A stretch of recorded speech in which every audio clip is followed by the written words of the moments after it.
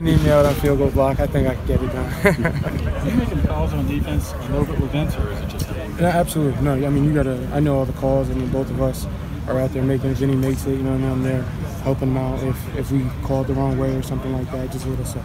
We make a big deal out of you running first team out here. Is it a big thing to you? Um, I mean, you know what? I'm just out there just trying to get better. You know, whether I was with the ones, twos, threes, it doesn't really matter. You know, I'm just trying to perfect my craft, get better, and help this defense. You know,